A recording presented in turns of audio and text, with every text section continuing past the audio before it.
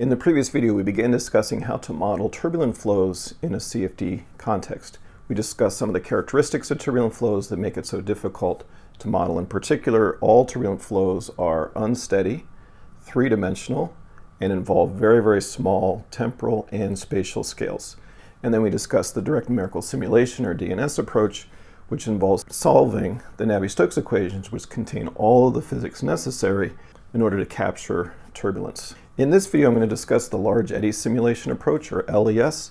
Let me also just say that for both DNS and LES, I'd very much encourage you to go online, look at YouTube videos that show animations of DNS and LES simulations, and you'll see some rather beautiful fluid dynamics, as well as you'll get a good sense for how powerful these tools are, how much detail you can get out of a DNS and or an LES simulation. So LES. LES involves filtering the velocity and the pressure fields in order to separate the large scales and the small scales, so the large eddies and the small eddies that are inherent in a turbulent flow. So the way we do that is that we locally average the complete fields.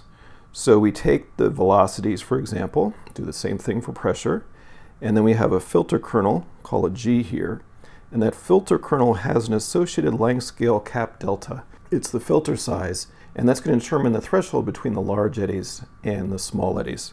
So any eddy that's greater than, bigger than capital delta, we'll call that a large eddy, and that will be computed. So that's why it's called LES, Large Eddy Simulation. We're simulating the large eddies.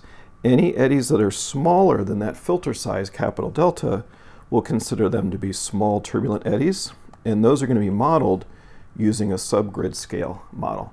So we have this cutoff between the small scales and the large scales. Large scales are simulated, small scales are modeled. So how does this help us relative to DNS?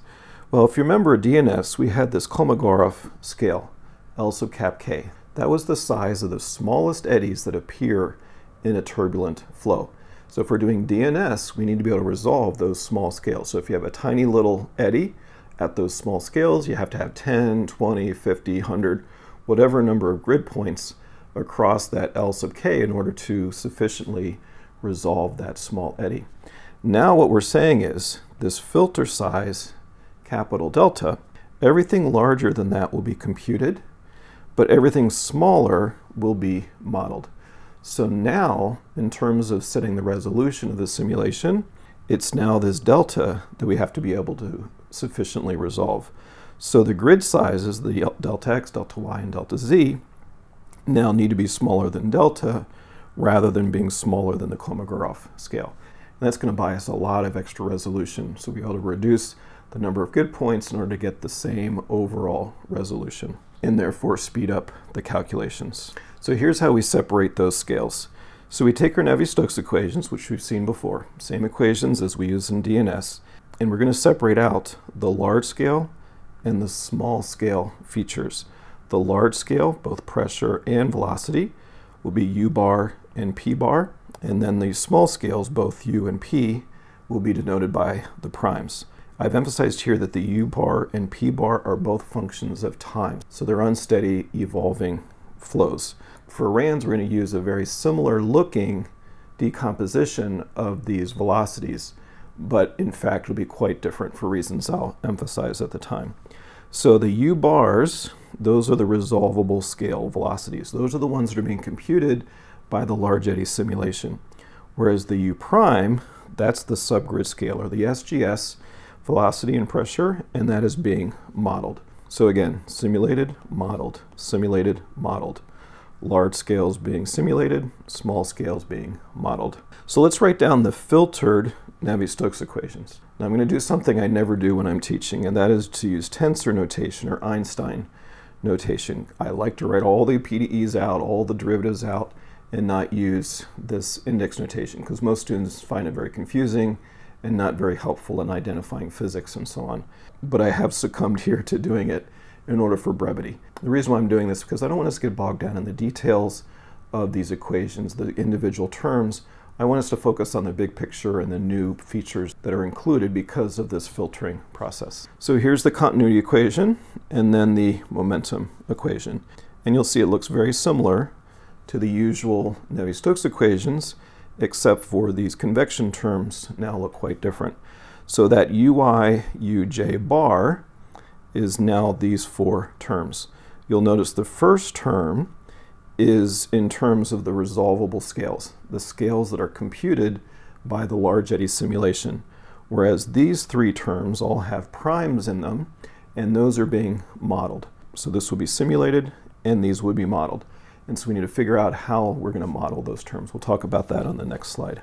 So those extra terms are called the SGS Reynolds stress. So the subgrid scale Reynolds stress. So next we need to think about how are we going to connect these two. We need a model that accounts for what's going on in the large scale and how the energy is feeding down to those smaller scales. So that's what we're going to look at here. That's the SGS. The earliest and most common SGS approach is known as the Smagorinsky model. Smagorinsky was actually interested in doing simulations of the atmosphere. And he came up with this idea of the large eddy simulation, which was really groundbreaking at the time. So the Smagorinsky model, it is an eddy viscosity model. So what that means is the fluid itself has a viscosity. It's a property of the fluid itself. But when you have these small scale turbulent eddies, you have an effective increase typically in viscosity. So the turbulence makes it seem more viscous. So you have this eddy viscosity model, and there are RANS models we'll talk about in the next video that are also eddy viscosity based models. Okay, so here's the basic approach. So we have our SGS Reynolds stress, the tau ij, which is those terms with the primes in them, and that's going to be equal to this expression here.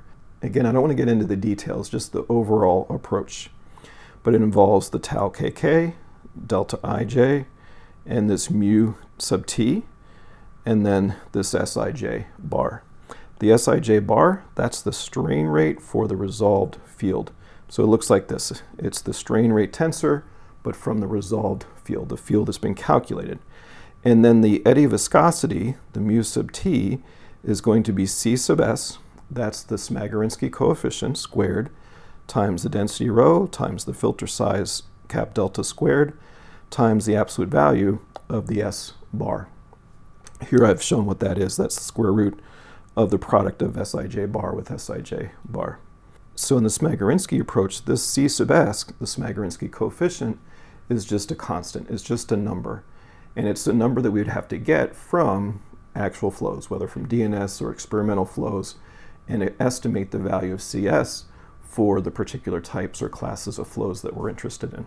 Let me make some additional remarks about this overall approach and how we can improve on the Smagorinsky model. So in the Smagorinsky model, we only account for energy transfer from the large to the small scales.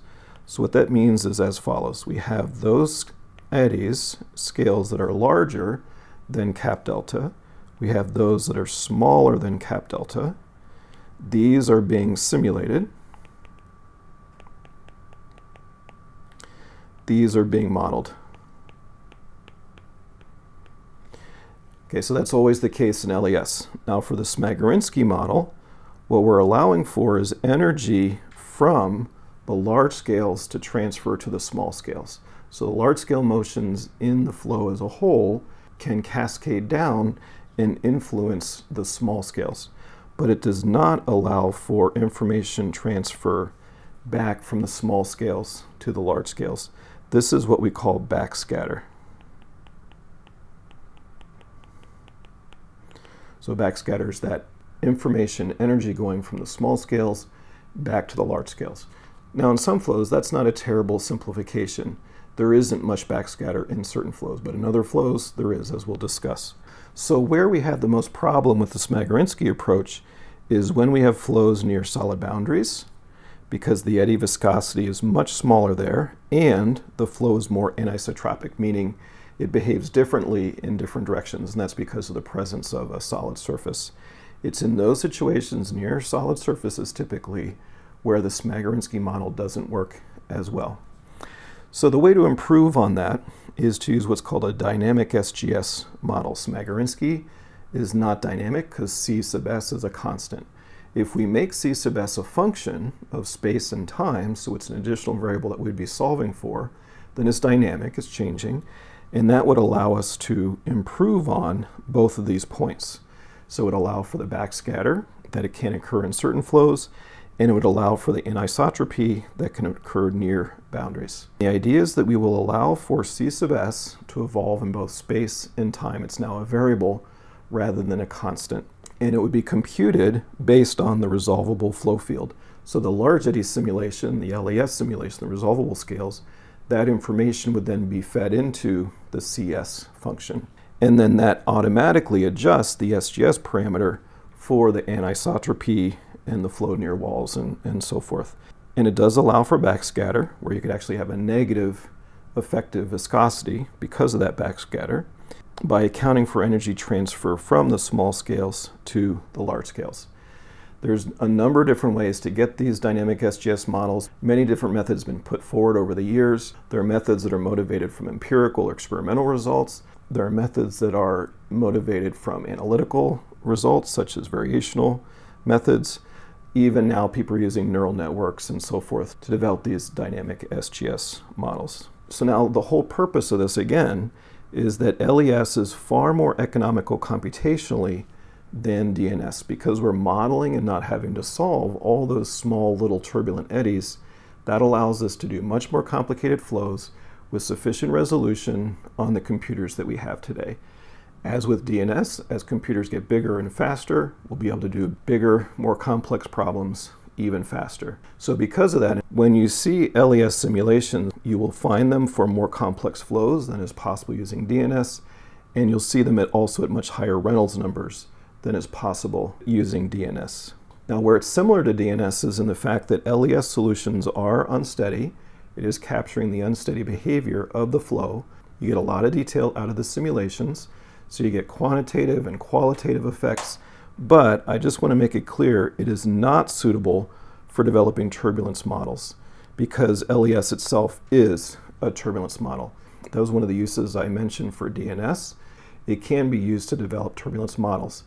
LES, although the results look very similar and have similar looking levels of detail, it's already modeling the turbulence in some sense, so it's not suitable for developing turbulence models for, say, RANS that we'll discuss in the next video.